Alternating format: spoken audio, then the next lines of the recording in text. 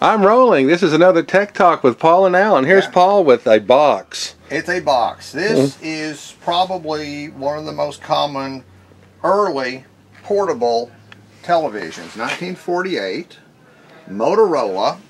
I used to have one of these I bought from the widow of a traveling salesman, I swear to God. And you carry it, it weighs about 40 pounds. It's portable. It's portable, but you open it up, and inside is a 7 inch television. And in the lid, you would have had the rabbit ears and a, a little mounting base for it. I've got the rabbit ears, they're just not in the case. Wow. Motorola? Motorola. What's that growing on the top of the picture There tube? was a rubber gasket Uh-huh. that holds the tube in. Of course, it has melted. Uh-huh. Uh, I've got several of these. Got this one at Canton. Uh-huh.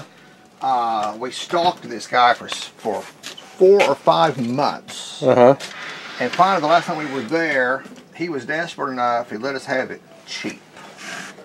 And of course, they always say, well, it, it, it works. I thought, well, yeah, right. So we bought this one. And I thought, well, I got nothing to lose. Let's plug it in and see what it does. And I It was... smokes. No, I was surprised that it didn't smoke.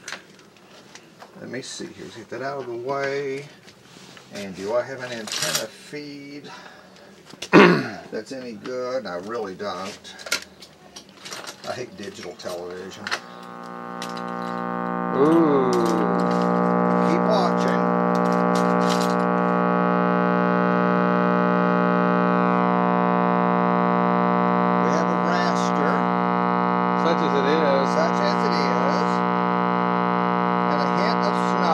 Got some bad capacitors. yeah, it it obviously has a bad capacitor.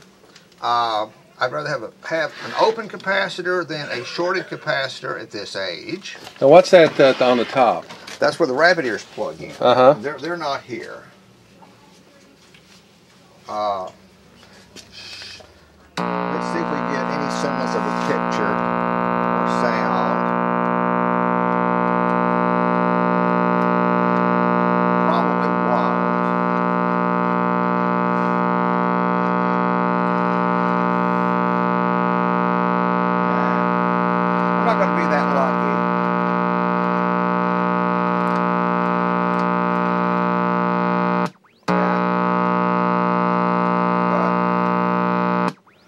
There's one that's Well, at least it's got high voltage. well, we, we- we've got high voltage, and we know the CRT is good. Mm-hmm. I mean, a hum is no big deal. This is a hot chassis television. Mhm. It's dangerous to Ele- work on, Electrostatic, that's a pain. Electrostatic sweep. which is good. Yeah, well, these For little things- repair. Well, yeah, It's like a glorified oscilloscope. is sort of. Mhm. But these have, for high voltage, they need about 2,000 volts. Mhm. So there's no flyback because there's no yoke. Mhm.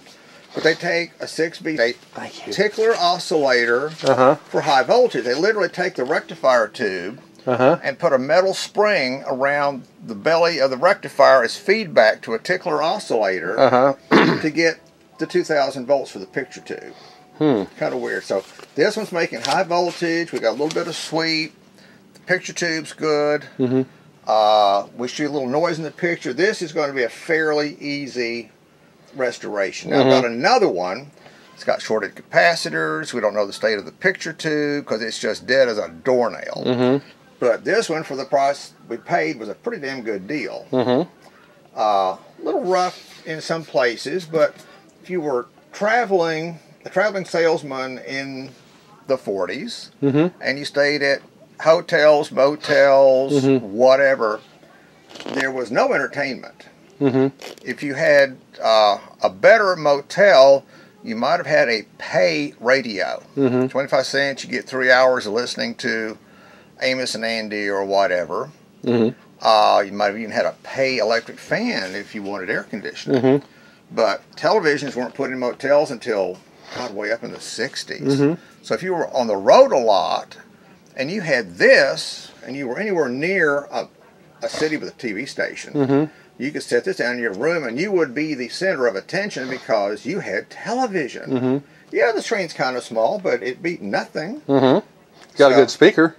Yeah, and and say it's it's a little gutless wonder, but it works. And how do you get inside of it? Uh, take the back off, take out four screws, the whole chassis slides out. The Mhm. picture tube stays in the cabinet. Uh, I've got the tube out of the other one still sitting here. I've moved the set up north. There's the original picture tube out of one. Mm-hmm. And during World War II, this would have been a radar tube Mm-hmm. with a different color phosphor, blue or green. Mm-hmm. And they just took the existing radar tubes, put white phosphor in them, and called them TV picture tubes, Mm-hmm. And uh, built TV sets around it. Okay, and this was like 1940 watt. This is 1948. 47, 48, 49. These sets were pretty much gone by 1950. Uh huh. This is a, a 7JP4, P4 meaning a white phosphor. Mm-hmm. You keep seeing tubes on eBay that have P1 phosphor. Mhm. Oh, it's for a TV set. No, P1 is green. It'll Mhm. make a picture, but it'll be green. Mm-hmm. The P and a number tells you what color and persistence the phosphor was. Mm-hmm. Most people don't know that P4 is television white. P1, 2, 3, 6, 7, 9, 11, 13 are all different specialty phosphors. But Mhm. there's a spare tube right there. Um, I got a chassis out of a thrift store over in Oklahoma a few years ago. Paid $15 for the whole chassis Mm-hmm. With one of these tubes on it. I Mhm. thought, well, if nothing else, the tube's any good. That'll come in real handy. Mm-hmm. Last set I did, I needed a tube, and by God, I had one. Mm-hmm. All that for a seven inch picture. And the weird part about this is we're used to aluminized picture tubes Mm-hmm.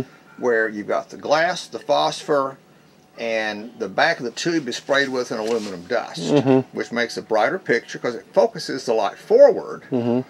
This one, if you look in the back of the tube, half the light goes back into the tube. So Mhm. inside the set lights up like a Christmas tree. Mm-hmm.